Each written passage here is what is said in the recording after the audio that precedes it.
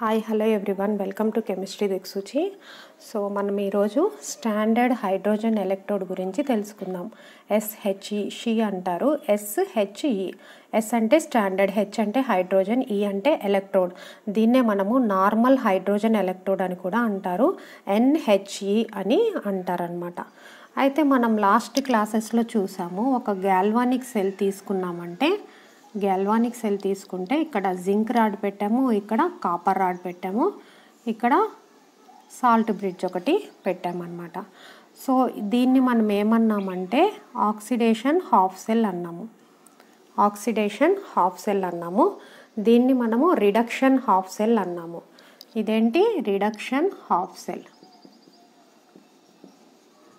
ఇది oxidation half cell. Oxidation half cell ఎటువైపు? Anode వైపు ఉంది. రిడక్షన్ హాఫ్ సెల్ ఎటువైపు క్యాథోడ్ వైపు ఉంది. ఇక్కడ కాపర్ సల్ఫేట్ తీసుకున్నాము. ఇక్కడ జింక్ సల్ఫేట్ తీసుకున్నాము. మీకు ఈ పాటికి వచ్చేయాలన్నమాట. జింక్ రాడ్ తీసుకున్నాము. కాపర్ రాడ్ తీసుకున్నాం సో మనము సెల్ యొక్క టోటల్ సెల్ యొక్క మనము వాల్యూస్ని ఏ విధంగా ఎలక్ట్రోడ్ పొటెన్షియల్ వాల్యూస్ని ఏ విధంగా క్యాలిక్యులేట్ చేసాము అనేది మనం లాస్ట్ క్లాసెస్లో చూసాము కానీ మనకు కావాల్సింది ఏంటంటే క్యాలిక్యులేట్ చేయడం ఒకే ఒక హాఫ్ సెల్ యొక్క ఎలక్ట్రోడ్ పొటెన్షియల్ని క్యాలిక్యులేట్ చేయాలి అంటే క్యాలిక్యులేట్ చేయటం అనేది దీంట్లో సాధ్యం కాదు. ఇది ఉన్నప్పుడు ఈ ఒక్కదాని హాఫ్ సెల్ యొక్క ఒక్కదాని ఎలక్ట్రోడ్ పొటెన్షియల్ వాల్యూని క్యాలిక్యులేట్ చేయటం అనేది సాధ్యం కాదనమాట. So electrode potential of any electrode cannot be calculated individually. ఇండివిడ్యువల్గా మనము ఎలక్ట్రోడ్ పొటెన్షియల్ని క్యాలిక్యులేట్ చేయలేము. చేయలేము కాబట్టి ఐయుపిఎసి వాళ్ళు ఒక స్టాండర్డ్ హైడ్రో స్టాండర్డ్ ఎలక్ట్రోడ్ని వాళ్ళు ప్రిఫర్ చేశారనమాట. దాన్నే మనం ఏమంటున్నాము? ఎస్హెచ్ఈ అంటున్నాం. Standard hydrogen electrode. అది ఇట్ సైడ్ అన్నా పెట్టుకోవచ్చు దీని బదులు లేదంటే ఇట్ సైడ్ అన్నా పెట్టుకోవచ్చు దీని బదులు. దీన్ని తీసుకుంటే ఎందుకు దీన్ని తీసుకుంటున్నాము అంటే ఇది ఒక రిఫరెన్స్ ఎలక్ట్రోడ్. Reference electrode. దీని యొక్క దీ దీన్ని మనము స్టాండర్డ్ కండిషన్స్లో తీసుకుంటున్నాం. లాస్ట్ క్లాసెస్లో చెప్పాం. Standard condition. టెంపరేచర్ కానీ ప్రెషర్ కానీ మనం తీసుకుంటే కాన్సన్ట్రేషన్ కానీ తీసుకుంటే అన్నీ one one. One atmosphere.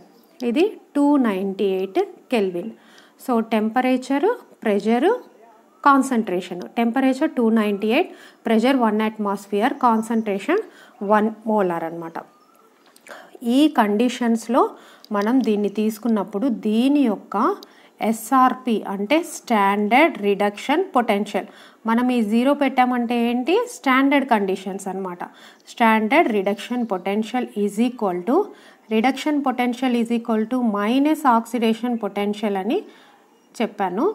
So standard oxidation potential minus standard oxidation potential ఈ రెండిటి యొక్క వాల్యూ జీరో ఉంటుంది.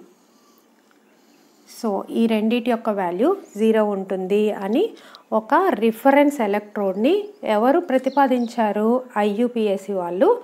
దీన్ని రిఫరెన్స్ ఎలక్ట్రోడ్గా తీసుకోండి. తీసుకొని దీని యొక్క వాల్యూ జీరో చేసుకొని దీన్ని యానోడ్ వైపుగా కానీ యూజ్ చేయొచ్చు క్యాథోడ్ వైపుగా కానీ యూజ్ చేయొచ్చు అనమాట సో యానోడ్ వైపు యూజ్ చేసి మనము క్యాథోడ్ యొక్క రిడక్షన్ పొటెన్షియల్ వాల్యూని తీసుకోవచ్చు.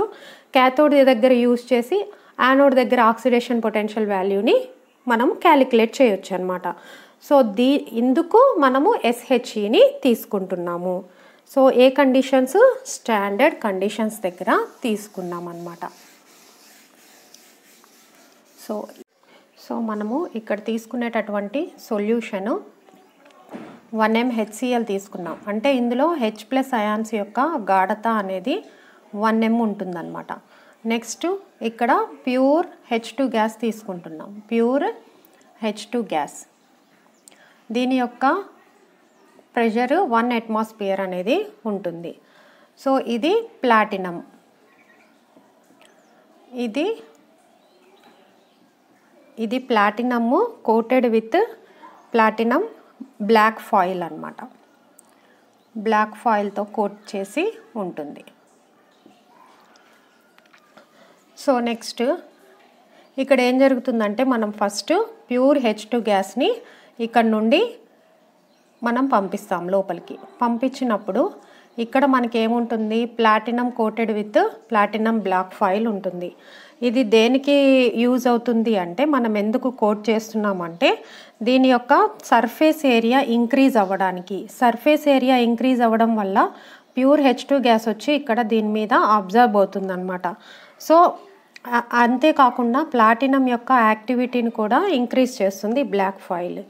సో ఇప్పుడు ఏం చేస్తున్నాం మనం? ప్యూర్ హెచ్ టూ గ్యాస్ని ఇక్కడ నుండి పంపిస్తున్నాం. ఇక్కడికి వచ్చి అది అబ్జర్బ్ అవుతుంది. సర్ఫేస్ మీద అబ్జర్బ్ అవుతుంది. అబ్జర్బ్ అయిన తర్వాత ఇక్కడ ఉన్నటువంటి హెచ్ టూ గ్యాస్ ఇంకా మిగిలిపోయిన హెచ్ టూ గ్యాస్ లోపలికి ఇక్కడ సొల్యూషన్లోకి వచ్చేస్తుంది అనమాట సో ఈ హెచ్ టూ గ్యాస్ ఏం చేస్తుందంటే మనకి యానోడ్ దగ్గర జరిగే రియాక్షన్స్ ఏంటో చూద్దాం. యానోడ్ దగ్గర ఏం రియాక్షన్స్ జరుగుతాయి? మనకి ఆక్సిడేషన్ రియాక్షన్స్ అనేవి జరుగుతాయి. ఆక్సిడేషన్ అంటే ఏంటి? Loss of electrons. సో ఈ ఆక్సిడేషన్ రియాక్షన్స్ దగ్గర ఏం జరుగుతుందంటే ప్లాటినం దాని మీద ఉన్నటువంటి హెచ్ టూ గ్యాస్ ఏం చేస్తుందంటే టూ ఎలక్ట్రాన్స్ని రిలీజ్ చేస్తుందన్నమాట. Two H plus plus two ఎలక్ట్రాన్స్ని release చేస్తుంది.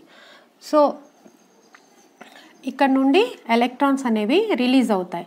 రిలీజ్ అయినప్పుడు సొల్యూషన్లో ఉన్న హెచ్ ప్లస్ అయాన్స్ ఏం చేస్తాయంటే ఈ ఎలక్ట్రాన్స్ని తీసుకొని హెచ్ టూ గ్యాస్గా మారుతాయి అన్నమాట సో ఇక్కడ నుండి హెచ్ టూ గ్యాస్ వస్తుంది ఎలక్ట్రాన్స్ని విడుదల చేస్తుంది. ఈ ఎలక్ట్రాన్స్ని ఈ హెచ్ ప్లస్ అయాన్స్ వచ్చేసి తీసుకొని హెచ్ టూ గ్యాస్గా మారుతాయి. ఈ విధంగా ఈ రెండింటి మధ్యలో ఈక్విలిబ్రియం స్టేట్ అనేది వస్తుంది. సో యానోడ్ దగ్గర ఈ రియాక్షన్స్ అనేవి జరుగుతాయి. దీన్ని మనము రిప్ ఎలా రిప్రజెంట్ చేస్తామంటే ప్లాటినం ప్లాటినం దగ్గర ఉన్నటువంటి హెచ్ టూ గ్యాస్.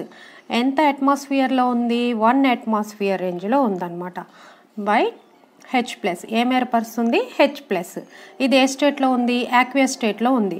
దీని యొక్క కాన్సన్ట్రేషన్ వన్ ఎం కాన్సన్ట్రేషన్ లేదంటే మనకి ప్రాబ్లమ్స్లో ఇస్తాడు. ఎంతో కొంత కాన్సన్ట్రేషన్ అనేది ఉంటుంది. సో దీని యొక్క E zero value E zero H two by H plus అంటే దీన్ని ఏమంటున్నాము? Standard oxidation potential. Standard oxidation potential ఎంత దీనికి? జీరో ఉంటుంది. స్టాండర్డ్ ఆక్సిడేషన్ పొటెన్షియల్ జీరో ఉంటుంది. ఇవి ఎక్కడ జరిగేటటువంటి రియాక్షన్స్? యానోడ్ దగ్గర జరిగేటటువంటి reactions. Next.